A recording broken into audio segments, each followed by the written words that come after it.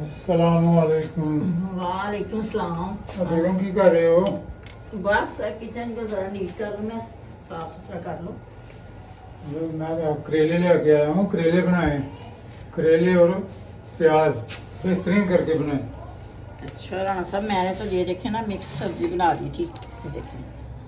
कोई बात नहीं करेले करेले बनाए ये खाने को बहुत दिल कर रहा है। करेले बनाओ हाँ करेले बनाए। चलें जी आपकी खुशी के लिए अभी बनाते हैं करेले। चलो भाई बच्चों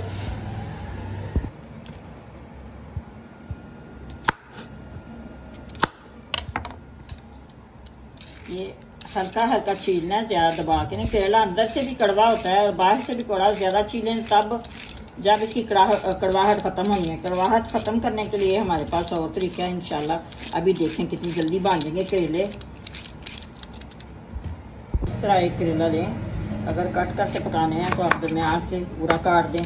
और ये बीज अंदर से चम्मच से निकालें। हाथ से नहीं, आपके हाथ दुखने लग जाएँगे। चम्मच से बहुत आसान है निकालना। इस तरह से बीज निकाल लें सारे करेलों के। ये देखें सारे करेलों के बीज हमने निकाल लिए। अब कर लेते हैं जी कटिंग ऐसे दो दो पकड़ के कटिंग करते हैं, जल्दी हो जाए। कटिंग अपनी मर्ज़ी की आपने कर लेनी है। ना ज़्यादा बरीक होनी चाहिए, ना ज़्यादा मोटी होनी चाहिए। ज़्यादा बरीक करेंगे तो फिर धोएँ तो टूट जाते हैं करेले। और इस तरह से नॉर्मल काट कट कर लें। आपकी अपनी पसंद है, वैसे जैसे भी काटना चाहें आप काट करेले हमने काट लिए हैं जी। ये देखें।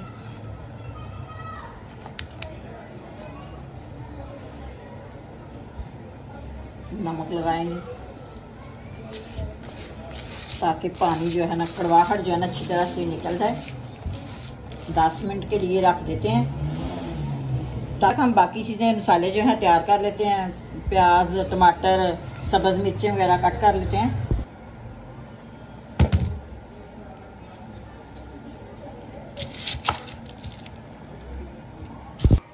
प्याज करेलों को अच्छी तरह माल के, मसल के मैंने नमक को निकाल लिया। कड़वाहट भी काफ़ी निकल गई है। तो अब इनको फ्राई करते हैं। एक कप तकरीबन हम ले लेंगे जी ऑयल। कढ़ाई में बादल गरज रहे हैं। ये मेरा कोई कसूर नहीं है, ये बादल के शोर आएँगे। प्लीज़ बर्दाश्त कर लीजिएगा। ऑयल को तेज़ गर्म होने देना है ताकि फ्राई हो जाए करेले। अगर हल, ज़्यादा तेल गर्म ना ना हो तो फिर जल्दी नहीं होते फ्राई एहतियात से डालने हैं।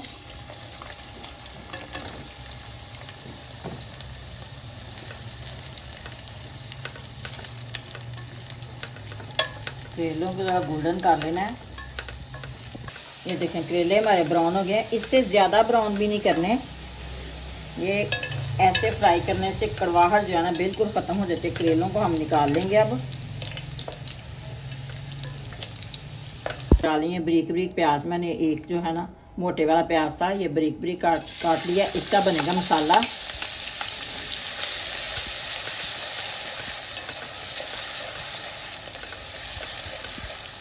करेले फ्राई करते वक्त ऑयल जो है ना, थोड़ा क्वांटिटी से ज़्यादा ही डालना पड़ता है, क्योंकि करेलों को फ्राई होना होता है। अगर आपसे ज़्यादा पड़ जाए तो आप जब करेले निकाल लें फ्राई करके तो ऑयल आप निकाल सकते हैं। मैंने निकाला नहीं है, वैसे थोड़ा सा मुझे भी ज़्यादा ही लग रहा है।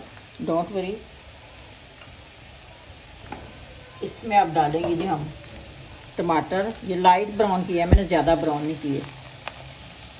दो टमाटर थे, ये डाल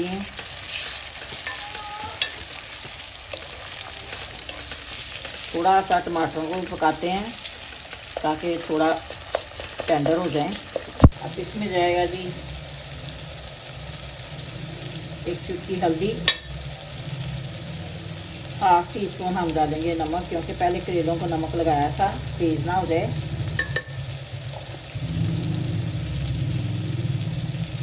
हाफ़ टी स्पून जाएगी चिली पाउडर क्योंकि हमने सब्ज़ मिर्ची डालनी है इसमें। ये चार सब्ज़ मिर्चें थी, वो मैंने कट कर रही थी, वो जाएँगी। ये मोटे मोटे प्याज मैंने कटे हैं, ये जाएँगे। क्योंकि मेरे मियाँ ने कहा था, प्याज और करेले बनाने हैं।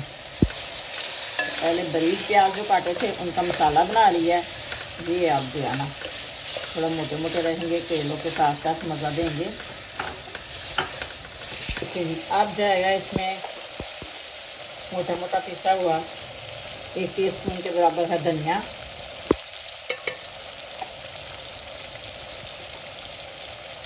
जीरा पाउडर. लहसुन अदरक का पेस्ट इसमें नहीं जाता, क्योंकि करेले पहले ही गर्म होते हैं तो लहसुन अदरक का पेस्ट इसलिए इसमें नहीं डालते.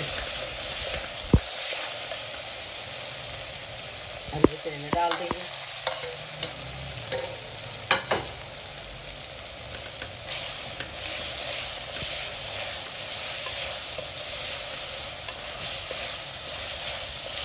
ऐसे दूर वगैरह चला के थोड़ी हल्की आँच पे दे देते हैं हम इसको दम आँच कर देते हैं हल्की।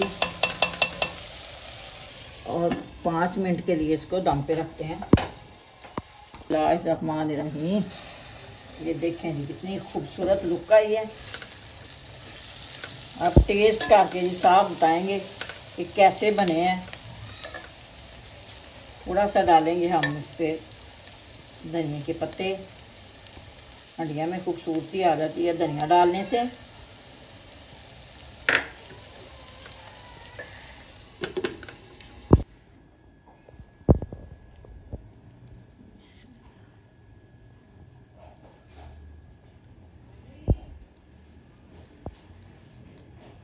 मैडम कमाल कर दिया कमाल कर दिया मज़ेदार बने ना। वाह। हाँ कमेंट करके बताएँ। आपको हमारा रेसिपी अच्छी लगी। ओके बाय अल्लाह हाफिज़.